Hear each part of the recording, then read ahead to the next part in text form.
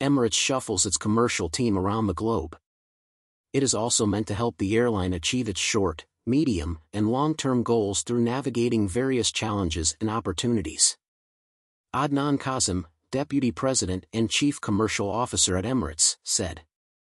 We take pride in developing exceptional Emirati talent within our workforce and are committed to supporting their career progression and advancing their leadership capabilities.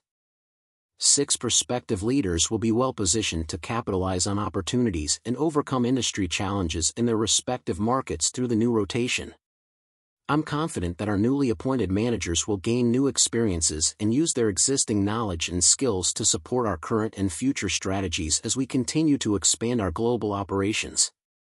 Emirates commercial team members assuming new roles, effective immediately, include Mohammed Al-Qasim, previously country manager Cyprus, has become country manager in Cambodia.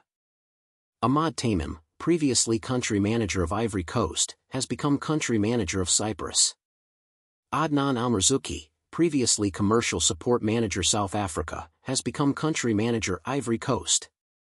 Mohamed Taher, previously commercial support manager Egypt, has become manager Uganda.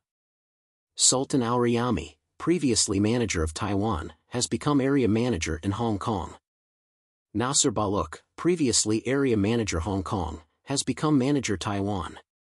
Iturbonus.com Through its commercial outstation program, Emirates strategically cultivates opportunities for UAE nationals to expand their skill sets and expertise across various roles. The program also aims to support the professional growth of the airline's Emirati workforce while enabling them to build meaningful and long-term connections with business partners and stakeholders across its network.